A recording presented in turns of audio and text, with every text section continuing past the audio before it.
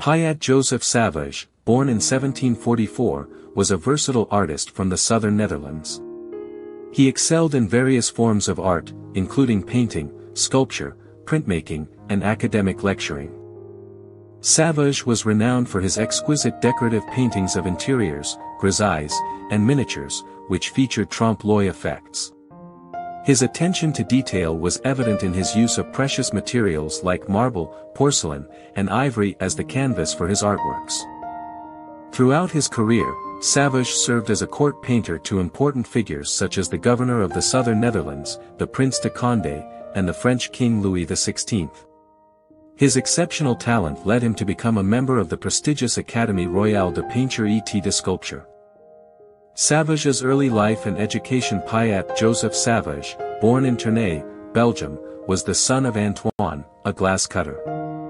He began his artistic journey by working in his father's factory while studying at the School of Drawing in Tournai.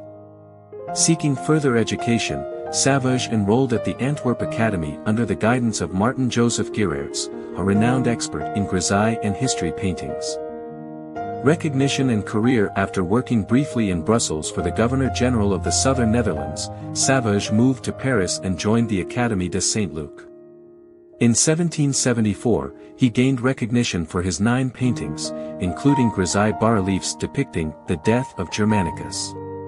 Sauvage's talents secured him a place in the prestigious Académie Royale de Peinture et de Sculpture when he created a remarkable trompe-l'oeil painting featuring a round table adorned with various objects.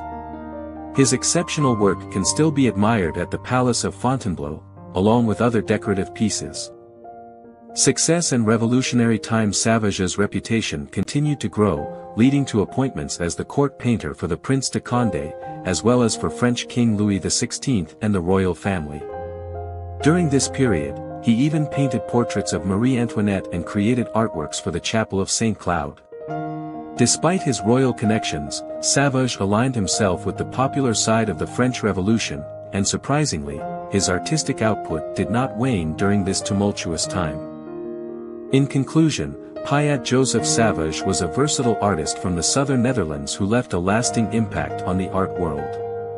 His exceptional talent and attention to detail were evident in his exquisite decorative paintings of interiors, grisailles, and miniatures, which featured trompe-l'oeil effects.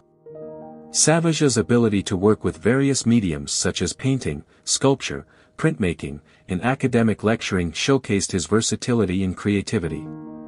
Throughout his career, he served as a court painter to important figures and became a member of the prestigious Académie Royale de Peinture et de Sculpture. Sauvage's talent and recognition continued to grow, leading to appointments as the court painter for the Prince de Condé, French King Louis XVI, and the royal family. Even during the tumultuous times of the French Revolution, Sauvage's artistic output remained strong. His legacy as a talented and influential artist is still admired today.